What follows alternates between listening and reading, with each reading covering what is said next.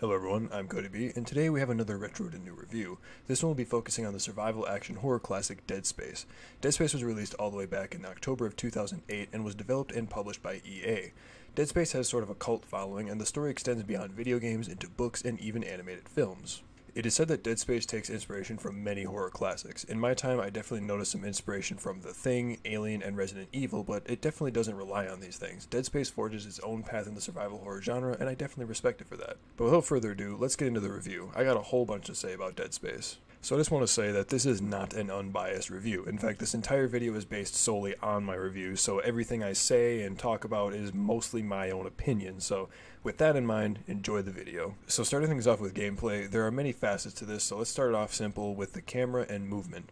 So at its core, this is a third-person shooter. There isn't really any cover elements, but your movement is quite important, as there will be many times where you need to avoid the necromorphs chasing you down. You have your basic walking and then your sprint. Now, the movement in this game is honestly very slow, but you never really feel like the game is sluggish, as this is a game you'll want to take slow, as you have no idea what will be around the next corner. But this slowness also extends to your camera movement. See, there's no slider or anything to control the speed of your camera, at least none that I could personally find. At first, I was a little disappointed by this because I prefer to play with a higher sensitivity than what the game provides but I'm glad that I either didn't figure out how to change it or that the game doesn't allow you to change it because the game feels fantastic. The camera is silky smooth, and when combined with the movement, it all just works perfectly. Also, if I'm honest, the camera isn't that slow. I'm just a bit of a fiend who likes to crank the sensitivity all the way up or close to it. And not being able to whip your camera around an instant really helps the game feel more intense because you can't react to something behind you as fast, and it also makes it a lot easier to line up your shots to remove limbs. I suppose this leads into the gunplay and general combat. As I've just stated, you deal damage to the necromorphs by removing their various limbs, whether it be arms, legs, heads, spiky tentacles, you know, the basic stuff. You can achieve this goal with a multitude of weapons, and I know this isn't very game reviewer of me, but I didn't try every weapon in the game. I mostly just found the ones that I liked and used those. Those weapons are the plasma cutter, pulse rifle, contact beam, and the ripper. In my humble opinion, the plasma cutter is the best weapon in the game just because it's so versatile. It's a semi-automatic pistol that really packs a punch, especially the more you upgrade it. It can take down a necromorph in two or three well-placed shots, and it just feels super good. The pulse rifle is very nice as well. It eats up quite a bit of ammo and is definitely best when it's upgraded, but it's great for the faster moving and small targets. The contact beam is very nice for just getting rid of enemies. It takes a second to charge, but it will pretty much one-shot just about anything, so it's really great for getting out of sticky situations. Lastly, the Ripper is super cool. It's just a saw that shoots a blade out and spins in front of the gun, and more or less is just a chainsaw, which is great because there's nothing quite as satisfying as cutting up a disgusting creature with a chainsaw. Except, well, maybe beating it to death. Besides the weapons you have at your disposal, you have a punch and a stomp attack that just feel great to use. Now, I will admit, calculating the distance for the punch can be a bit tough. There were several times where I was standing there swinging at a necromorph that was slightly too far away, completely missing, just to have it rush me and give me a slap. But I can say when it does land, it is so satisfying. The necromorph will be stunned for a little bit. You can use this time to either run away, line up a shot, or just keep hitting it. And these hits are beefy. Isaac puts his all into every punch, and it's just awesome. There's just something so special about using brute force to take down a monster like this, and I really enjoy it. Now, besides your guns, your fist, and your foot, there are a couple of other things at your disposal that can be used in combat, but they also have out of combat utility uses. These things are stasis and kinesis. Stasis is the one that is more useful in combat as it slows down time in an isolated area for a short time, allowing you to hit your shots easier or give you an opportunity to create some distance between you and the necromorphs. Outside of combat, it can be used to get through doors and such. It really is quite useful. But now, as far as kinesis goes, it is incredibly useful outside of combat with several puzzles I very much enjoyed utilizing it.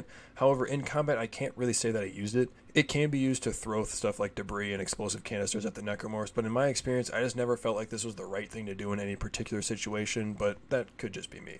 Now that we've discussed the basics of gameplay and the tools of destruction Isaac gets to play with, let's talk about the big bad guys we're fighting in the Necromorphs. A necromorph is a human who's been turned into a disgusting abomination by an alien life form that infects its host. It is also connected to this thing known as the Marker, but we'll cover that a bit later in the story section. Now, there are several different flavors of necromorphs that all act differently and attack Isaac in their own unique ways. We start the game off simple with your basic slashy arm boys. These ones look mostly human, but have a few things that are a bit off about them, like the fact that their torso has been kind of ripped open and they have some extra slashy arms. There are also these ones that are kind of like scorpions almost. They crawl around on the ground and can jump at you from quite a distance. These guys are very prevalent in the zero gravity sections of the game. There are also babies, like straight up babies with tentacles growing out of their back. It's just as unpleasant as it sounds. There are boss ones that are really big and hulking that are very tough to take down. Ones that have an exploding arm, these guys are incredibly easy to take care of. There are these really big fat ones that when you kill them, they spawn these tiny little things that will swarm you and slow you down. That's not very fun. And there's also this one that kind of looks like a skin bat that will go around turning dead bodies into necromorphs. Now, for my two favorite ones, you have these guys who are literally grown into the wall, which looks horribly unpleasant. They scream in agony the entire time you fight them, and I just feel particularly bad for these guys. And then we have these really tall ones that break into several parts that will attack you individually once it takes a few shots. I suppose there's also a boss necromorph that chases you for a brief time who regenerates any limb you shoot off, and he's actually very menacing but fairly easy to deal with as long as you keep moving. But yeah, needless to say, the necromorphs are a pretty scary and gross bunch, and if I'm honest, they feel really good to take down. For me personally, going through the game, I felt like I was doing them a favor by dismembering them, putting them out of their misery in a sense. I mean, just listen to the sound of relief one of the wall guys has as he's finally able to let go of the hell he has suffered.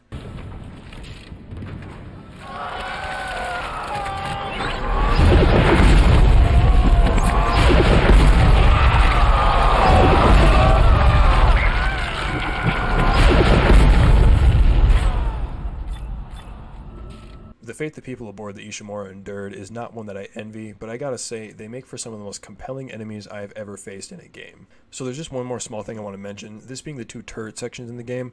One you need to defend the ship from some incoming asteroids, and the other you gotta shoot a monster off the side of the ship. And I just gotta say, I really don't like these sections. They feel very out of place and break the flow of the game to me. There are only two times the game does this, and the second one with the monster is much better than the first one with the asteroids, but if neither were in the game, I don't feel it would have hurt the experience in the slightest, as I feel they only bring bring down the experience, but admittedly only slightly. So I guess to wrap it up for the gameplay, it's fantastic. It's smooth, it's very responsive, and it's easy to pick up as there isn't a massive learning curve in the game, so it gets high marks for me in this department. Alright, now we're getting into the main bulk of this video, as there's a ton I want to talk about for the story. There will be some minor spoilers here, but as always I'll try to keep it to a minimum, so we'll start by talking a bit about the plot.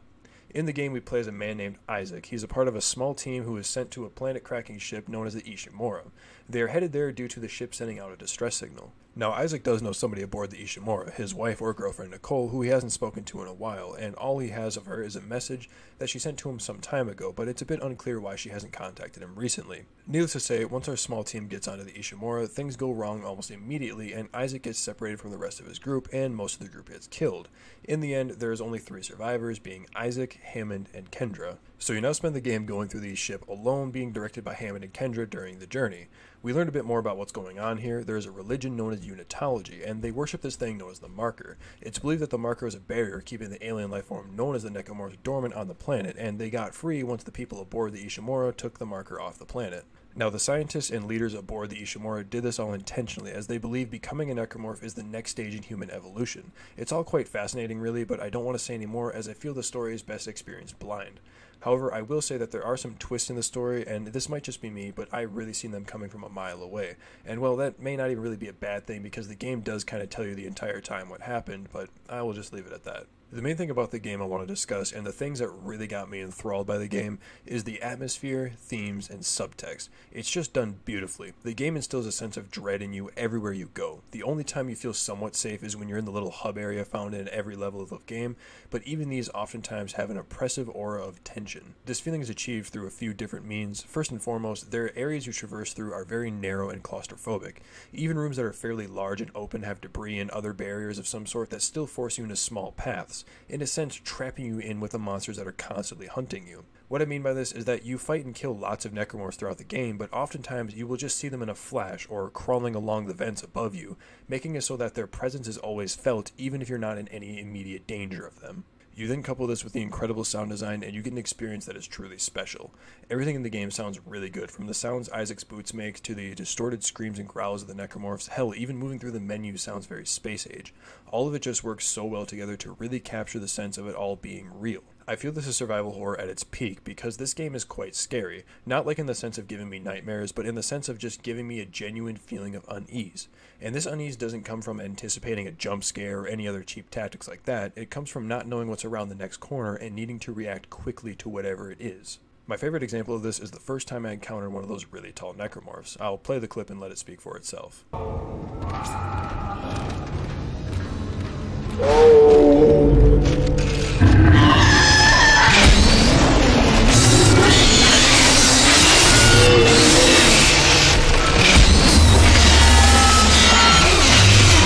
Sound it makes is bone chilling, and not only was it a fairly good spook, but it was also an awesome way to introduce a new enemy. It's just one example of many great moments like this throughout the game. So moving on now to some themes I picked up on. Here's where I'm going to get into some particular spoilers, so be warned. The main ones I noticed are isolation and predestination. As far as isolation goes, it's from the very beginning of the game. We see a recording of his lover Nicole, who he hasn't seen or spoken to in some time, showing this detachment from the ones he holds dear in his life. Not to mention, as I said earlier, Isaac gets separated from his group almost immediately, and from this point, Isaac is on his own really, facing this hell without any real support. Sure, he has contact with people, he speaks to Hammond and Kendra, and later some scientists, but there's always a barrier between them. There's only a few instances in the entire game where the being that isn't a necromorph isn't being seen over a screen or talking to him from behind a closed off room. And anytime there is a regular person that is on his side of reality, you could say, death soon comes to them. Isaac is on the side of death and decay. In fact, you could say Isaac himself is that very being of death.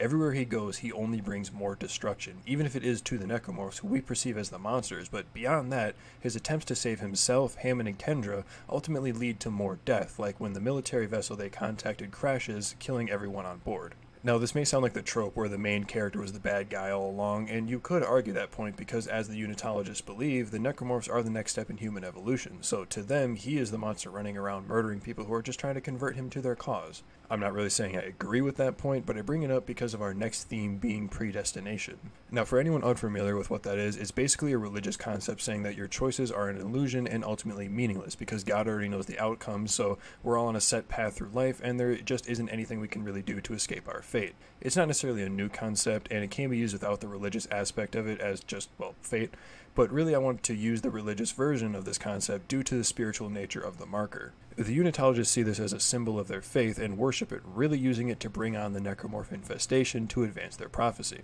However, I don't think the Unitologists have the right idea. This is just a personal theory from someone who hasn't experienced any Dead Space lore outside of this game, but I think the Necromorphs are a punishment to man for meddling with something that they don't understand, thus damning themselves to a hell that they embrace as a heaven. But I suppose I should clarify how all this pertains to predestination or fate. It does this with Isaac. The marker has chosen Isaac to be its messiah. For the entire game, it seems that Isaac is being pulled along by a string, not by his allies giving him new objectives, but small subtle things, whether it be a message in blood telling him where to go next, or seeing glimpses of Nicole as he travels through the ship. All of Isaac's actions ultimately lead to the benefit of the marker. Every step he takes brings the marker closer to returning to the planet its rightful place, and when he finally succeeds on this mission, he's left with nothing. The chanting of the marker stops, he no longer sees Nicole, he isn't rewarded for his actions. The marker got what he wanted from him and left him be with the parting message, we are whole again. Now, the game doesn't end there, stuff happens, and well, Isaac ultimately fails his mission, and his reward for that is a big monster he's got to kill. But I feel if the marker would have stayed where it belonged, he would have been allowed to leave.